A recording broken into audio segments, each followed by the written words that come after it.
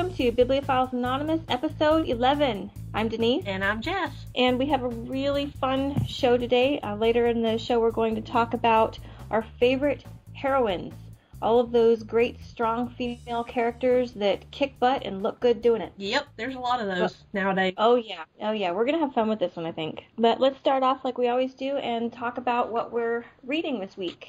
Jess, why don't you go ahead? Um, I finished uh, one of the Karen Marie Moning books, Dreamfever. Yeah, that was it. It's book four. There's only one more left, and I started it. It's Shadowfever, and I've kind of gotten sucked into these fluffy or mm-hmm. not, they've sucked me in, and I've, I've I've got to finish the series, and I'm kind of falling in love with Jericho Barrons. Oh, really? He is a total jerk. but he's got he you know apparently he's pretty to look at and he's got that whole you know confidence thing going on and yeah he's i'm i'm in love with him i look i've told you before i like the bad boys and i also finished uh, Dark Frost by Jennifer Estep. And the exciting thing about that is we have gotten the advanced reader copy of Crimson Frost, which is book four in the series, and we're going to be discussing that on the podcast. Yes, and that is really exciting. Yeah. I'm looking forward to talking about that. We're planning on talking about that in a, in a couple weeks, so we'll we'll you know do more a little bit later. Yeah. With that. And I think that's a, yeah, that's all I've read this week. Shockingly.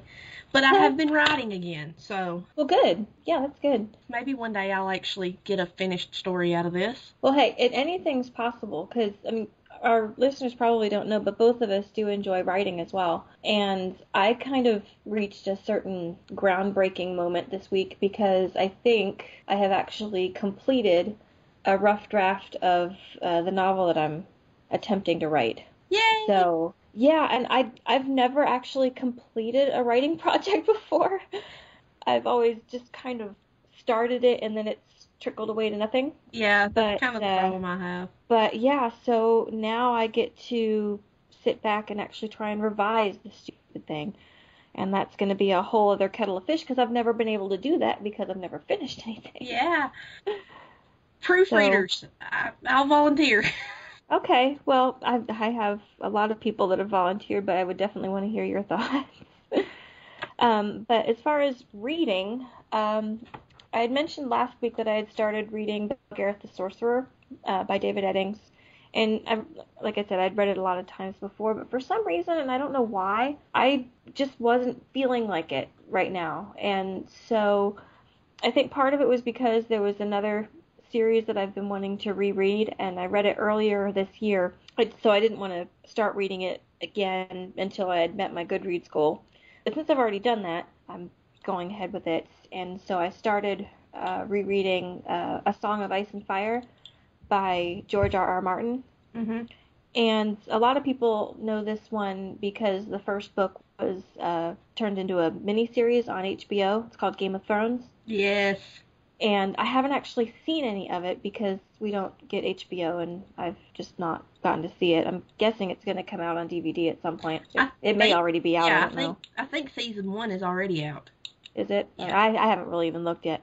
But um, anyway, so I'm reading that, and then uh, since we are going to start uh, in a few weeks talking about Crimson Frost, I finished the first book in Jennifer Estep's uh, Mythos Academy series, which is uh, Touch of Frost. Mm-hmm. And so I finished that one and uh, really liked it. Uh, it's a, it's a really interesting uh, story world and interesting characters, and I like how she's playing with all the different mythologies. Yeah, I like that. So, um, but we'll talk again. We'll talk more about that when we actually discuss the the book. But I'm I, like I said, I finished book one, which is A Touch of Frost, and then I'm uh, working on book two, which is Kiss of Frost, and really liking it so far. I imagine it's kind of dinky having it set up there in your neck of the woods too. It was kind of funny, although um, it, it's set in Asheville, North Carolina, which is probably a three or four hour drive. So they're talking about like you know this kind of quirky downtown area that it's got, and all the mountains and everything, and I'm like, yep, yep, I I know that part of the country quite well actually. so that was kind of funny. Yeah, those are really good. I'm I'm looking forward to reading Crimson Frost, and I'm excited that I get to read it before it's actually released. I know that that that's that was a really exciting thing, and we we've got another uh, ARC that we're going to talk about um, probably in a couple of months because it's not coming out for a while. But um, I'm really I'm really excited that you got us signed up and Yeah. involved in all of that because it's going to be a lot of fun uh, talking about all these new books that are coming out, Well, and we I'm- can find more about new books that are coming out Yeah, this way. I mean, I'm glad that publishers have started doing this because I mean, before uh, it's always been so hard to get print ARCs because they're so expensive to make hmm that they actually cost more to print the ARCs than it does to print the actual final version of the book. Right, which doesn't sound like it should be a problem, but it is. Yeah, and I mean, so they don't print a lot of them, and they try to, you know, give them. Most of them, I think, usually go out to other authors because you know, you when you buy a book, even a new release, it has these taglines on it from other authors that have done their reviews of the book. Right. So I think most of the ARCs go out, the print ones go out to people like that. So it was hard for people like us on a podcast or bloggers to get their hands on them. Right. But enter the digital age, you've got digital ARCs that cost practically nothing to make, and it's a lot easier for bloggers and reviewers like us, small outfits like us that aren't, you know, we- we're not widely known, to get these ARC, which is extremely exciting for me because, you know, I, I'm getting, I've found quite a few books on there that are that I've heard of. I was afraid when I signed us up. I'm like, you know, I'm afraid I'm going to sign us up for this, and I'm going to browse this catalog, and it's going to be all stuff that are from publishers I've never heard of, from authors I've never heard of, which is not necessarily a bad thing. I mean, I'm sure No. there'll be great stuff on there either way. But when I got in there and I saw names like Random House and Del Rey and Tor, I was Right. like, wow, we've hit pay dirt. yeah, it's it's it's really exciting, and it, it's going to be a way for us to kind of stay on top of some things that are going on in the publishing world, at least in a small way. Yes. So we'll, we we can hear about some new books that are coming out, both that are you know part of a series like this one, and I know that the other one that we were approved for, I think it's either the first book in the series or it might be a standalone. I'm not sure. I think it's the first in the series. And and just so you know, yes, we are doing book four in a series for our first one. We're gonna try not to make a habit of jumping into the middle of series like that. Yeah, this one's going to be kind of a, a special case. Yes, But I think we are going to talk about the series as a whole Yeah, a bit. Um, because you have to. If you're going to talk about book four, you're going to have to. You can't just jump in there and say, oh, yeah, this really was cool when, you know, nobody else has any kind of context for it. yeah, that's that's certainly true. Yeah. Well, that's but that's all I've read um, this past week. This past week has been just kind of insane work-wise for me, both with the writing and then my actual day job. So I haven't had as much time to read as I would like. But yeah, some weeks are like that. Yeah, I saw your post on Facebook about drowning your sorrows in Ghirardelli peppermint bark. I I still have the bag sitting right here on my desk. So if you hear any munching or crunching, that's just me having another peppermint bark. It's one of the things I love about this time of year because all of the like chocolate and mint stuff comes out. And This is probably my favorite one. and you know the thing about it is, peppermint bark is so easy to make yourself. And yet I have never done it. I did. I did.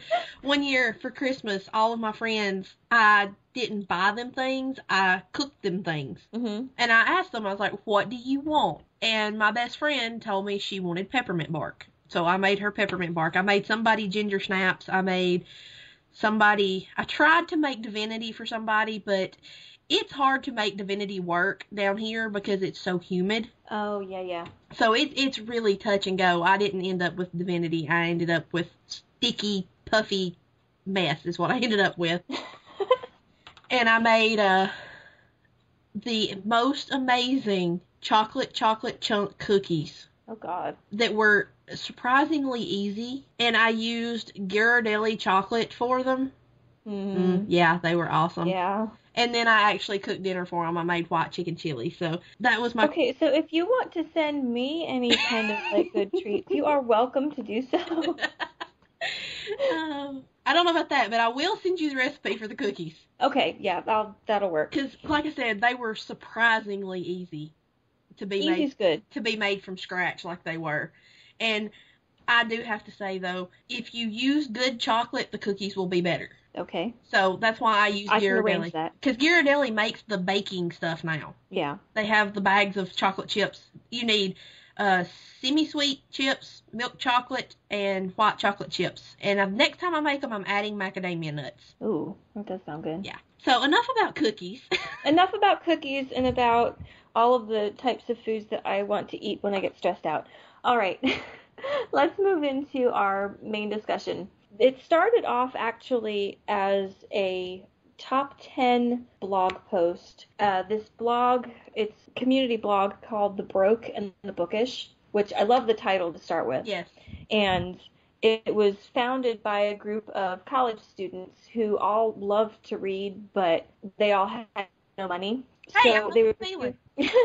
so they would review books, but and they would also talk about like kind of how they found books, either like through yard sales or some from used bookstores or things like that. Different ways that you could get them like really inexpensively.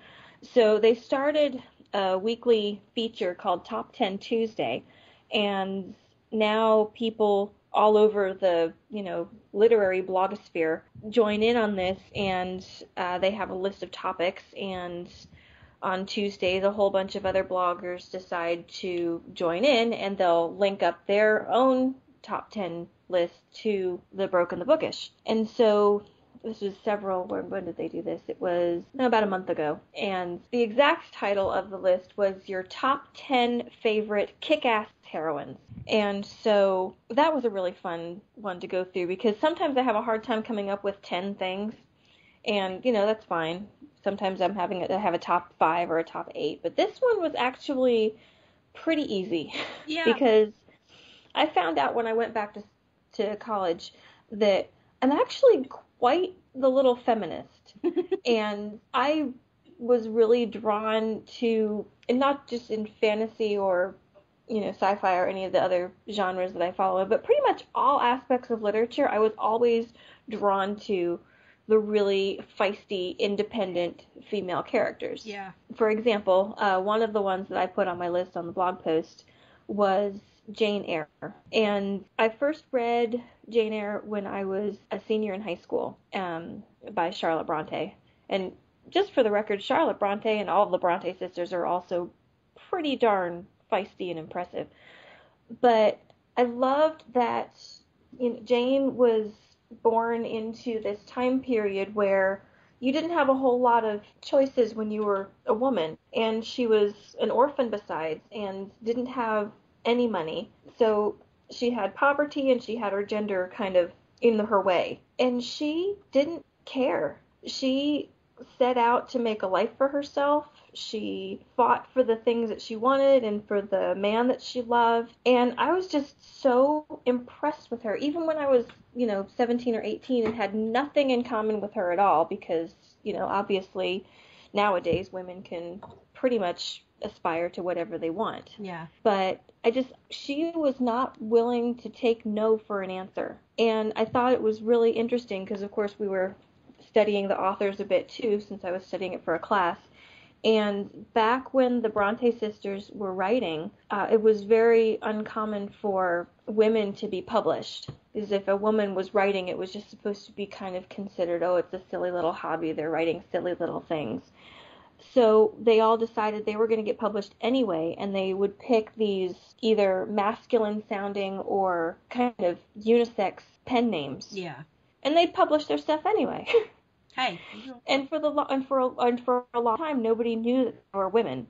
They they just assumed that uh, Charlotte Bronte's pen name was Currer, C U R R E R, I think it was spelled. So Currer, and then the last name Bell. And nobody had any idea that that was a, a woman writing. And so I'm just like, you know, you go, Charlotte Bronte. Yeah. Don't let them tell you you can't write. You keep on writing. And I thought that was awesome. And so, you know, there's there's my my first pick for for a feisty independent heroine. Probably my favorite, and she's one of my favorite characters, not just one of my favorite female characters, is Merit from uh, Chloe Neill's Chicagoland Vampire series. Okay. She is uh 27, I believe. She is an undergrad student in Chicago, and she is turned to a vampire without her consent. Because the Mhm. way things are set up in that universe, you have to apply to become a vampire. Oh, okay. Yeah, they can't just go out and turn people willy nilly. Um, but she's attacked on campus by a vampire, and this other vampire, which happens to be the master of one of the three vampire houses in Chicago, comes along, and the only way he can save her life is to turn her into a vampire. So he does, which pisses her right off. Let me just tell you she is just she totally just flies off because she was changed without her consent. But she is uh her she has a wealthy family. Her her last name is actually Merit. You don't find out until like book four, five maybe, what her first name actually is. But her family, the Merits, they're New Money, Chicago, Uh huh. and she doesn't really like her dad or her mom. She tries to distance herself from them. She loves her grandfather though. Her grandfather was blue collar. He was a cop. You know, he wasn't obsessed with material things like her parents were. Right. And uh after she's turned, she has to vampires can only have one name unless they're a master. Master vampires can have a first and last name. So she just goes with Merit because that's what everybody called her anyway. But she's one of those characters who she thought she was strong, but she finds out that she's a lot stronger than she ever thought she could be. Uh huh.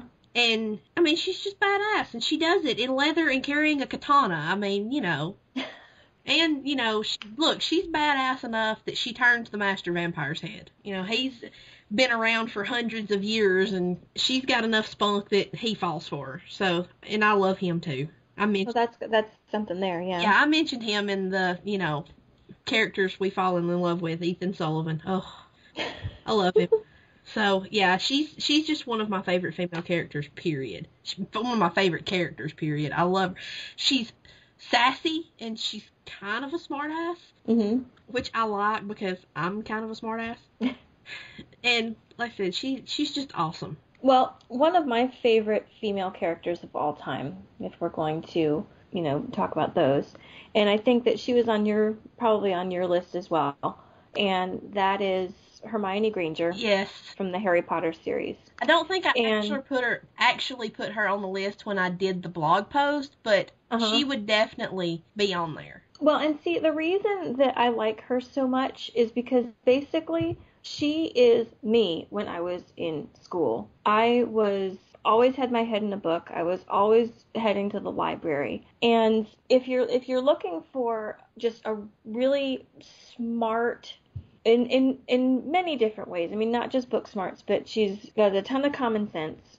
Which, let's face it, those boys needed a good dose of common sense. Oh yes, they did. And Well, they're boys. Well, true. But, you know, she they don't call her the brightest witch of her age for nothing. Right. She is, you know, vastly intelligent, logical, and on top of that, she can also, you know, kick some butt. Yeah, she can And hex you into next Tuesday if she wants to. yeah, and you know, if it's probably pretty much accepted that you know Harry Potter would not have defeated Voldemort without a lot of help, and she was the one who did a lot of the helping. Right.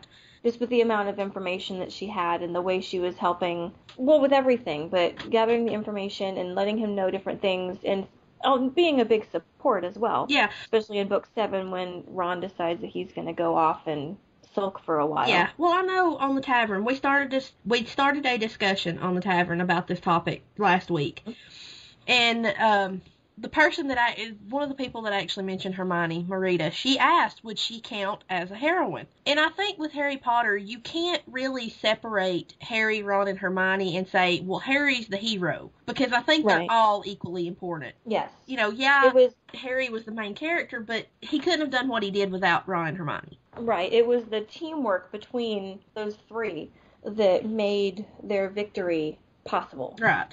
So in that And- regard, I think that Hermione very much qualifies as a heroine. Oh, I agree. and I even put on my on my blog post that you know not only does she like try and take care of everyone and take care of her friends, but who didn't cheer when she slapped Draco Malfoy upside the face? I was like, yeah, you you go, girl. I wouldn't I wanted to slap his sorry little face too. Yeah. I think in the movie she actually punched him though, didn't she? oh yeah, that worked too. Yeah, it's something, anything. That, It was a, it was a change from the original story that I was okay with. Yeah, because I mean, you know, uh, we we discussed this on our uh, episode about book to movie adaptation. Some things you have to translate differently for a screen than you would in a book, and I think a punch was more effective Oh yeah. in that in in that case. But yeah, Hermione's awesome. I keep telling people that one year I'm going to go as Hermione for Halloween because I have this hair that if I don't flat iron it, it has a mind of its own. and I can let it dry and then brush it, and it's totally got the Hermione thing going on. See, I was thinking about trying to be a Harry Potter character for Halloween this year, but I couldn't be Hermione because everything that I have that's Harry Potter related is Ravenclaw. Because I always get when I do like any of like the you know little quizzes online and stuff, they always sort me into Ravenclaw, and, and I actually probably that's where I would fit in anyway. But you know, since Hermione's a Gryffindor, I couldn't. I'd have to get all new stuff. See, I've always been sorted into Gryffindor, so even Well, the you could be official then. Pottermore, the official set up by J.K. Rowling sorting, put me in Gryffindor. Yeah, and it put me in Ravenclaw. You know, with with your dark hair and glasses, you could be Moaning Myrtle. oh, I don't want to be Moaning Myrtle. I don't know. I don't know that you would just have to be, you know, Ravenclaw girl. Well, I, I, I mean, I do get depressed from time to time, but I think being Moaning Myrtle is a little bit too much. Yeah. Well, I always, I joked around that for Halloween, if I was going to be a, a Harry Potter, like, character or a Hogwarts character, that I was going to be Ravenclaw extra number three. Hey, there you go. But Hermione was awesome. She look Harry and Ron. I love them, but there's just so much that they couldn't have accomplished without her. No, definitely not. But anyway, another one, so another one that uh, both of us have read, I think you're in the process of reading about, that I had put on my blog post list was uh, Meghan Chase from the Iron Fey Yes. series.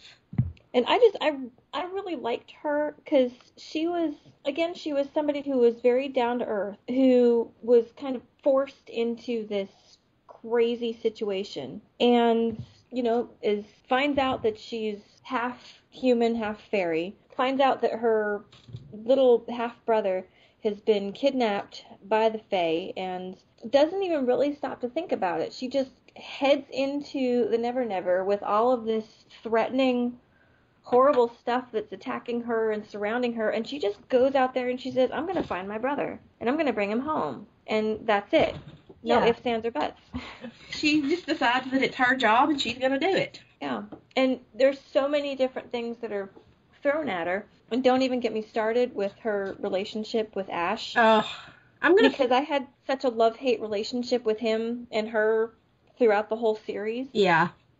I'm. until the end and i would the ending worked things out okay but i was just oh he he was so frustrating to me and what he kept putting her through and she, yet she was still so strong that she even though she was sad when he was being a jerk she was still focused on what she needed to do and kind of tried to rise above it Yeah. Yeah. Like I've I've only read the first two. I will read book three and four. I will. you need to I haven't managed to read any of my library books, so I may just, and they're due back the fourth, so I may just take them back and not bother with them. Well, I did read one of them. I read The Crimson Crown, but the other four, mm, no, never read them. So I may Well, just, see you see you have to get to book four in this series because okay, books one through three were all told first person from Meghan's point of view. yeah, Book four is told first person from Ash's point of view. yes, I have to read book four. So it's it's completely different, and you finally see what's going on inside his head, which is keeps being a mystery back and yeah, forth between her, and she doesn't know what he's thinking, if he loves her back, if he doesn't, and yeah, it's enough to make you want to slap him silly sometimes. Yes, It's like, it- what you are you doing? Yes, yes, that that was a problem I had with him the, through the whole thing. But again, that was one thing that really made me impressed with Meghan is because even though she had all these feelings for him, she didn't let that stand in her way of doing what needed to be done. Yeah. Whether it was rescuing her brother, whether it was fighting the Iron Fae, even though she, she she wasn't one of those lovesick female characters who was just like I don't have my man, so I'm just life isn't worth living kind oh of a God, thing. I, mean, can't stand those. I mean, she wasn't happy, and she wished things were different, but she still took care of business. Right. So that's why I liked her. Oh, speaking of characters who decide something is their job and they're going to do it, another one of my favorite kick-ass heroines is uh, Kerowyn from Mercedes Lackey's series, Heralds of Valdemar books. Actually, she has her own book, uh, By the Sword. And what I've actually read that one. you have, yay! I I think so. Yeah, I I remembered her name, and then you said that title, and I've actually read that one. She, um, her family is attacked at the feast for her brother's engagement. Yes. and her brother is killed and her father is injured or her father is injured and her, her father is killed and her brother is injured. I can't remember. One of them's dead and one of them's hurt. And uh her up and coming sister in law is kidnapped. Well, there's no one left uninjured or alive that can go rescue her, so Kerowyn decides that it's her job to do it. Since, you know, her father's hurt, her brother's dead, they can't go after her, so she takes it upon herself and she goes and talks to her grandmother who's a sorceress named Kethry, who is also one of my favorite badass females. Mercedes Lackey writes a lot of those. Her grandmother gives her this sword named Need, and Kerowyn takes off and rescues her sister in or up her, you know, soon to be sister in law, and gets chosen in the process. And I love the fact that she'd never really been trained. She'd never really had any experience doing anything like that, but she had this enormous sense of responsibility that somebody had to do it and she was the only one who could. And I love the way she deals with need. Need is a sword and they think that it's a spelled blade and whoever bears it, you have to go off rescuing every damsel in distress within a hundred mile radius. And the sword, it, it it helps you too because if you are a mage, it gives you fighting skills. If you are a fighter, it protects you from magic. And uh Kerowyn tells the sword several times, I'm not going to do that, and if you don't stop trying to make me, I'm going to throw you down a well. I mean, I love the way she deals with need, and, and need is actually very important later on in Mercedes Lackey's books when you find out what she really is. But uh I've always I've always loved Kerowyn, and I loved Kethry. She her she had her own series. There was three books, the Vows and Honor. She was kind of a badass heroine too. She had a sword a sword sworn sister. That's hard to say. Who was from uh the Shin'a'in tribe, which the I think the reason I like the Tarma and Kethry book so much, and like Tarma and Kethry, is because Tarma is Shin'a'in, and she's really the only Shin'a'in that Mercedes Lackey has written a lot about like that, because they're sort of a mysterious kind of thing with the Shin'a'in. But all of all of Mercedes Lackey's female characters are incredibly strong, and they're just she's very good at writing them. hmm Yeah, I haven't I haven't read very many Mercedes Lackey books. Uh, I I want to because I've heard a lot of people, you included, who have recommended them to me. But I did read By the Sword. I remember it because I it was a library book that I took on a vacation Yeah. because I knew I was going to have a lot of free time to read. And so yeah, Kerowyn was a really fun and interesting character. Yeah, I think she actually ends up uh, becoming the weapons master of the Herald's Collegium. Oh really? If I'm not Okay. mistaken. Yeah, and for those who haven't read or heard of Mercedes Lackey, people get chosen by these things called companions. Companions are horses. They're all white, they all have sapphire blue eyes, and they all have silver hooves. They're not actually horses, but I'm not going to tell you what they are because that kind of becomes important in the books. You got to figure that one out for yourself. But she gets chosen while she's in the midst of trying to save her soon to be sister in law Uh-huh. and she's I like Carolyn. She's a lot like me in the sense that this doesn't make any sense. I don't want to do it. That that crops up with her a few times. She's like very, very, very opinionated. And so you identify with her why? Well, because I'm very, very, very opinionated. I have opinions and I will share them with anybody. just just have a mask or not. Hey, you know, you don't have to ask. Though if you do Oh. ask for my opinion, be prepared for the truth. I don't sugarcoat it. All right. Well, another uh, heroine that I know both of us have read about. Uh, you read about it before me, I know, because when I was reading through the whole series, you commented on Facebook saying, "Wow, you're going through these really fast." And especially since the movie came out this past year, I think we have to mention Katniss Everdeen Yes. from the Hunger Games. Okay, I don't even think I need to go through why. All you have to do is see the movie poster, and you can tell why Yeah. she's on this list. She is, I think she's just an amazing character all around. And, you know, her father is killed in a mining accident, and her mother just kind of retreats inward and is unable to deal with everything because of her grief. So, before anything in the Hunger Games series even happens, Katniss is already taking care of her whole family, her mom and her sister, breaking the law in order to do it because of where they live, being just in the midst of this poverty, and sneaking past the borders of their district to go hunting. She's deadly with a bow, Yes. which is another thing that makes her awesome. Yes. I love archers. Yeah, and she's very good at it.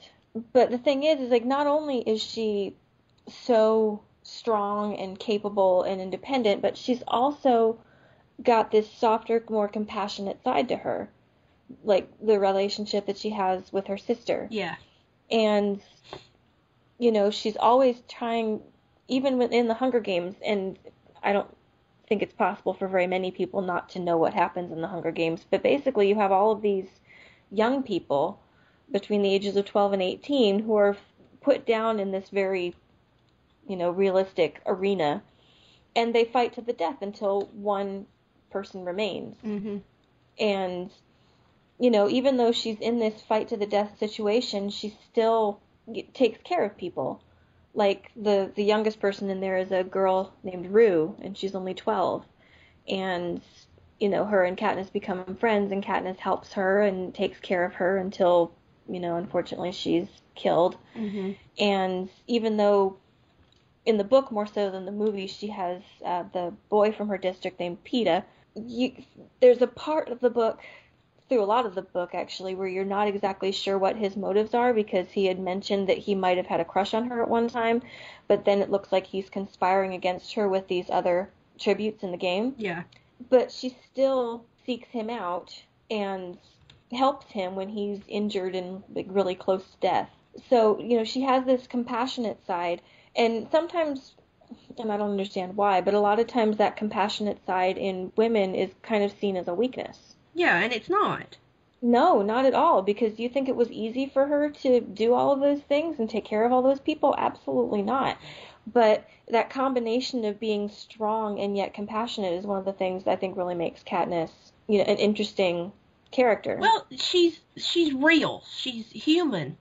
I mean, Mhm. she doesn't. She's not one dimensional.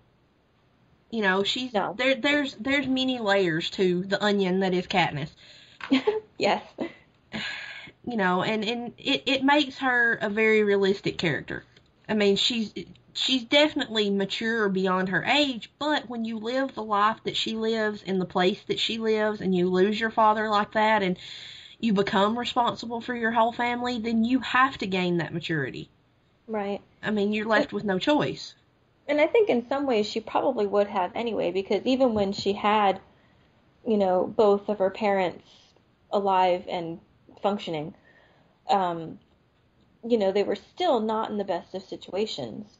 So I think even if she, you know, still had her father, I think she would still be going out and trying to find food the way that she did. And it wasn't just even just to to feed her family, but she would take it and sell things on the black market in order to try and trade either for other commodities that they needed or for extra money.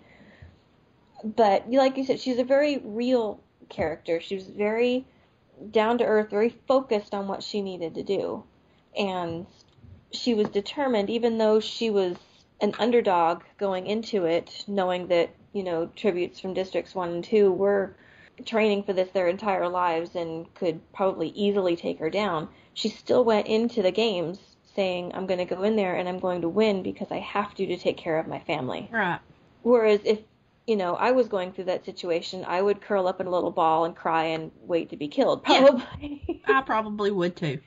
yeah, I, I, I couldn't, I could not handle that. And I know she's, you know, a fictional character, and of course she can be written however she needs to be, but she's just a very, very strong person, Definitely. and that's why she is awesome. She, like I said, I'm with you. If uh, if I was thrown into a situation like that where it was fight to the death, I would just be a quivering mass of nothing. Yeah. And now for something that's not young adult or fantasy. okay. Um, I've mentioned before that I read all of the In Death books by J.D. Robb. Uh huh. And Eve Dallas, the protagonist in those books, is uh she's a kick-ass heroine too.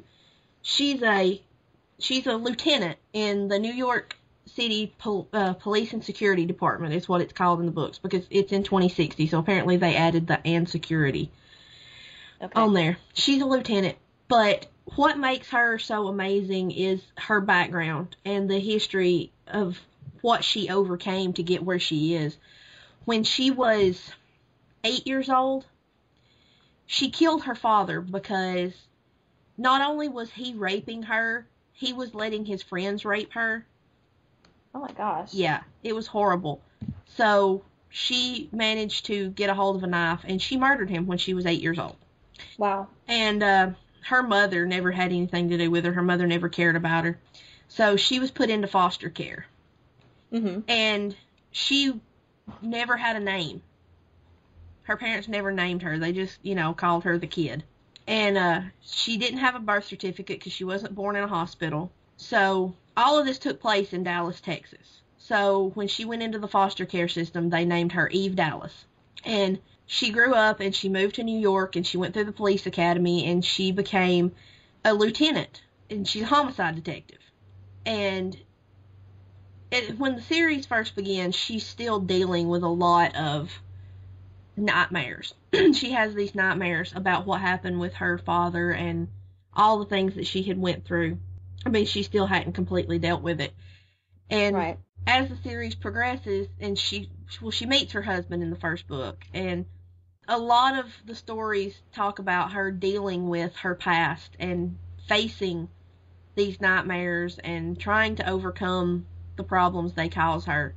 And finally in one of them she actually goes back to Dallas to where everything happened because you know she finally decides that she's ready to kind of face that part of her past. But she's such a self-sufficient type of person. Like she doesn't want to depend on anyone, and she doesn't want anyone taking care of her. Uh huh. That when her and Roarke get married, it it at first it just really really bothers her when he tries to do nice things for her, Uh huh. and but eventually she starts to soften up a little bit, and and she finally realizes that he understands her like nobody else can Mhm. but she's like I said, she overcomes a lot to become to get where she is. And not only, I mean, she's a lieutenant, but she's like one of the most successful homicide detectives in the police department.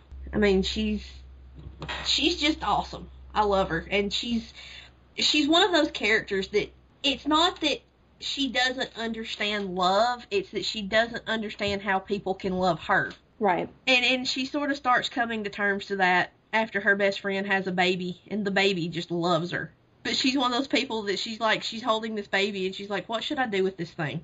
You know it's it's it's really funny. It it's there's funny parts in there that they're just really good books and she's just she's just a really she's another one of those that she's just a really really strong human being i mean to overcome what she did and to make it to where she did i can't even imagine Right.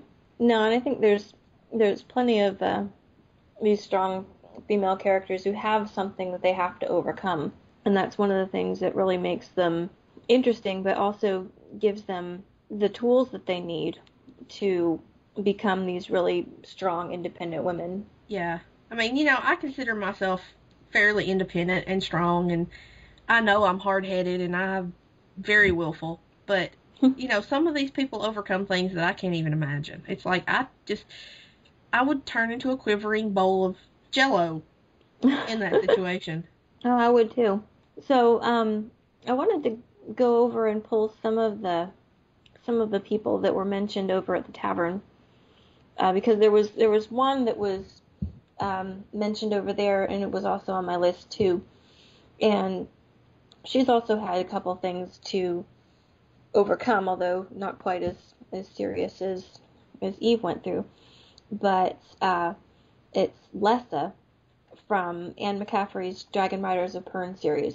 See, I haven't read those. They're on that list of things I'm going to read eventually. You have to because they are basically classic literature for anybody who reads fantasy.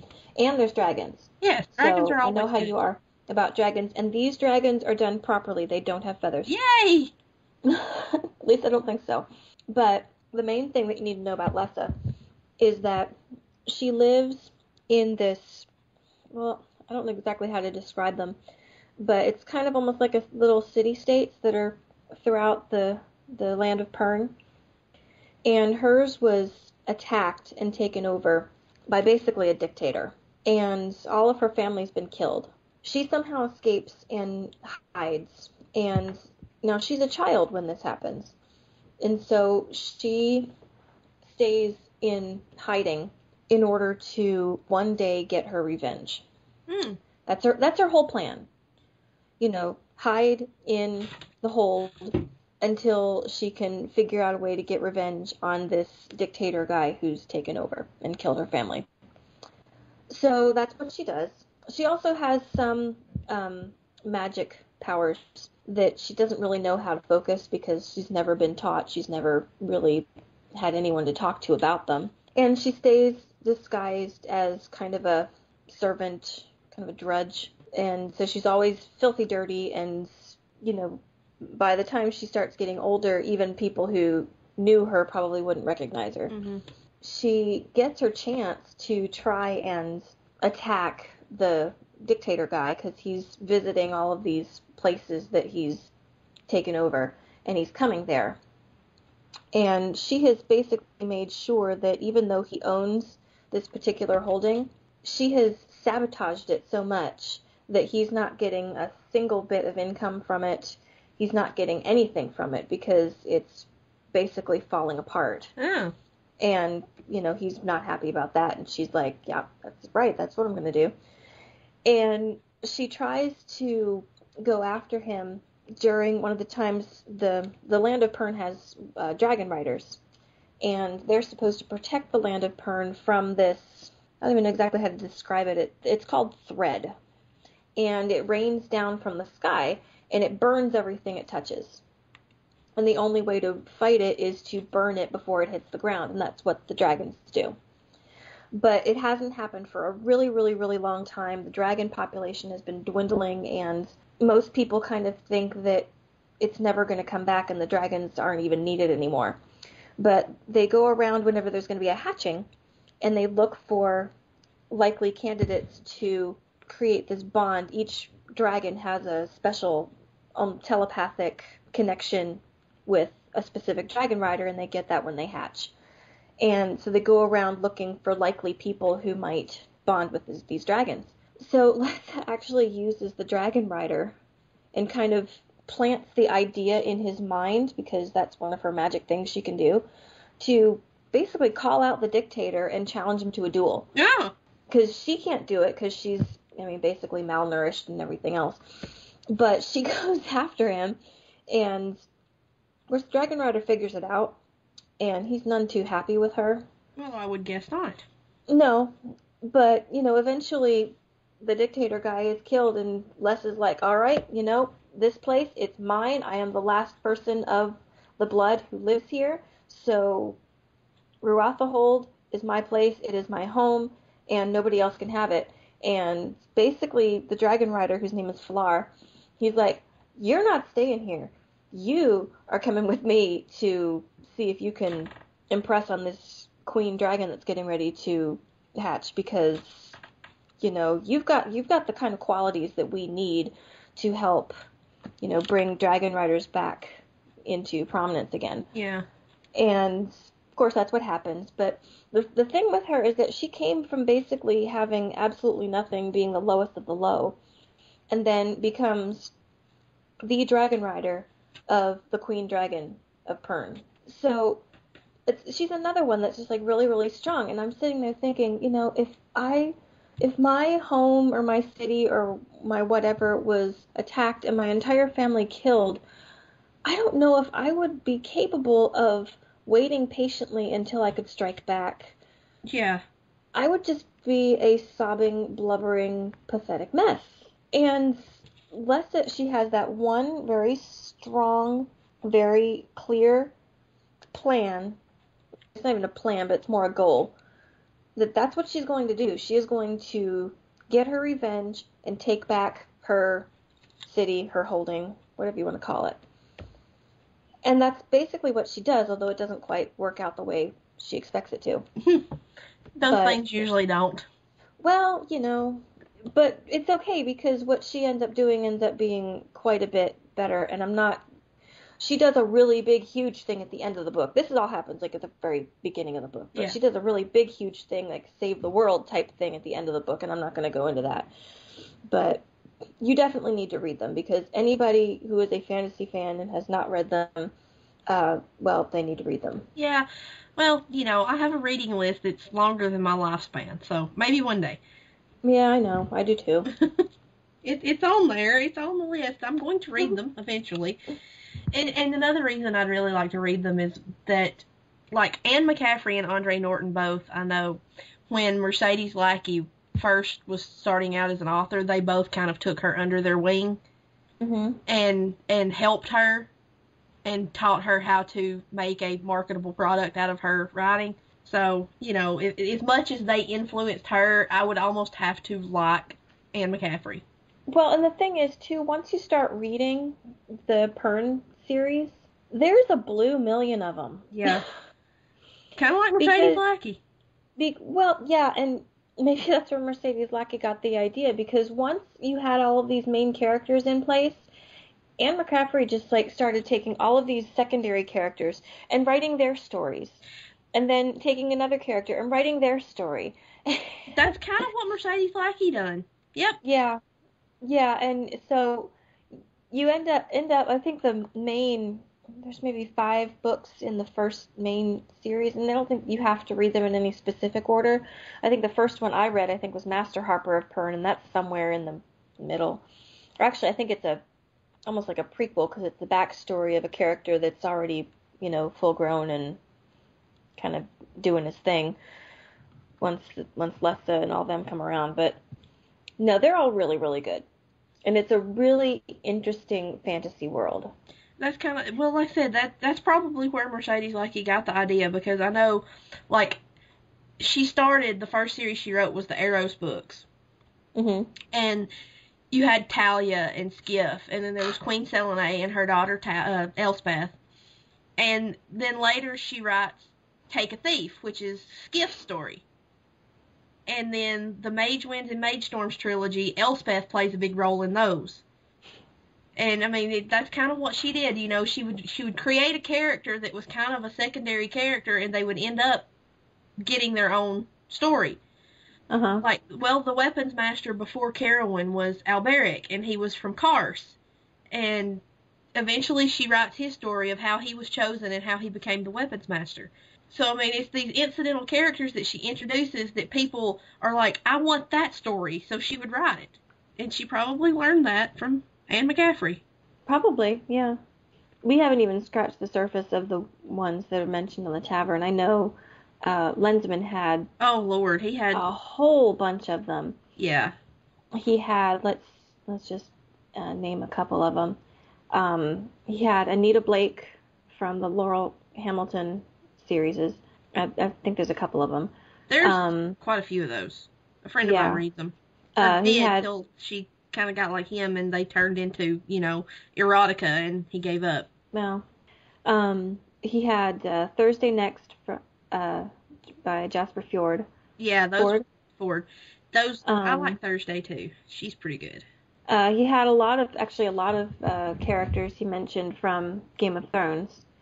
I do agree. Uh, this would probably be the youngest one on the list, and that would be Arya, who's, I mean, she's just a child, but she's one of those female children who don't want to be forced into like a female stereotype. She Yeah. wants to learn how to sword fight. She wants to learn how to, you know, ride horses and she doesn't want to sit around doing needlework all day and just be stuck in pretty uncomfortable dresses. She wants to go out there and, you know, be a rough and tumble kid, and so she does. That reminds And- me a lot of uh, Raisa from the Seven Realms by Cinda Williams Chima.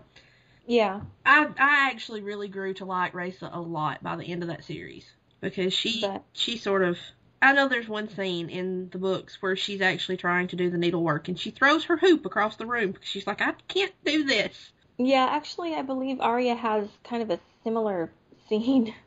She's she's just she's not a girly girl, and she refuses any attempts to try and make her into one. And um, there's there's been several char- female characters who have done this, but there is a point where she basically disguises herself as a boy, and this is partially a way to survive because this is after. Um, a whole bunch of really bad things have happened to everybody in the kingdom, not just to her. But so trying to pretend to be a boy is kind of a, a survival technique as much as it is kind of what she really wants. And she's she's just like, for a, a little girl, she is really strong, Yeah. and that's she's she's an impressive character. Anybody who's read that series. I know a lot of people who have read that series, and she's always on the list of favorite characters. But let's see, let's see who else. Uh, who else Lensman had said? A lot of these that he mentioned, I don't know them. Yeah, there was a lot of them well. that I didn't either. Um, he mentions uh, Angelina from the Stainless Steel Rat novels. I'm not sure who they are. Uh, Jirel of Joiry by C.L. Moore. I have heard that name before, but I had never read the character. He also mentioned Sabriel by Garth Nix, which is actually a, a book club book Yes. that's going to be coming up in a few months. So I guess we will find out exactly what's going on with her. Yep. Um, Charis Nordholm from Ordeal and Otherwhere by Andre Norton. Um, Jackie from The Anubis Gates by Tim Powers. He wrote, not sure if she counts since she's disguised as a boy throughout the book. Well, Arya does that too, so I say it counts. Yeah. Um, we had quite the discussion about whether or not Hermione counted, and we all finally agreed that uh, she does. Hey, Um, she does to me. uh, me too. Uh, Vector actually mentions uh, briefly. He didn't say her specifically, but he did mention Ce'Nedra from the Belgariad series.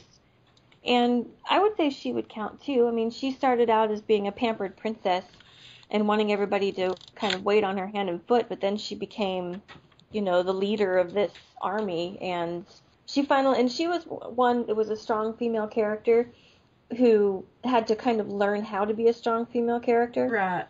because she had to kind of learn how to put other people's needs before her own. Yeah, because she was raised as an imperial princess. She she was used to everybody putting her needs before anybody else's. But once once she learned how to, you know, put her own selfishness aside, she became well, she became the queen that she was destined to be and a pretty good one Mm-hmm. for the most part. She made her mistakes, but you know, she was able to bring the army that helped basically form a distraction so that Garion could sneak in and do what he had to do. Right.